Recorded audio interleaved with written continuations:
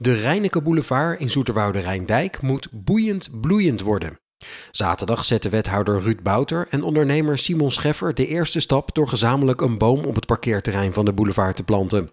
Een pittoresk draaiorgel en bloemenmeisjes die bosjes tulpen uitdeelden aan het winkelende publiek maakten de start van boeiend bloeiend aan de Rijneke Boulevard extra feestelijk. Dat was mijn debuut op het gebied van bomenplanten. En het is me goed bevallen. Het is toch wel zwaar werk en dan krijg je ook wel, uh, nou ja, in ieder geval een beetje besef wat al die mensen in de groenvoorziening aan zwaar werk uh, moeten doen. Want het is uh, behoorlijke, behoorlijke inspanning die je moet leveren.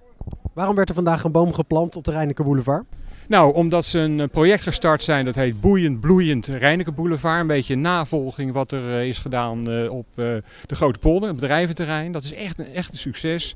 Daar is het hele bedrijventerrein vergroend in samenwerking met alle ondernemers. Ja, en we zijn daar echt, echt trots op. En nou, hier hopen we op hetzelfde resultaat. Nou, ik denk dat het gewoon A, fijner is en beter is voor het milieu. Dat het veel leuker is om hier te kunnen winkelen. Uh, ik denk dat alle stenen die hier liggen ideaal zijn om de auto's over te laten rijden. Maar dat het nog leuker is om een paar bomen ertussen te hebben waar mensen gezellig kunnen zitten. Kunnen genieten van het mooie weer, wat we onder meer ook nu hebben. En uh, ja, ik denk dat het, het het algemene leefniveau verbetert. Gaat het dan ten koste van het aantal parkeerplaatsen?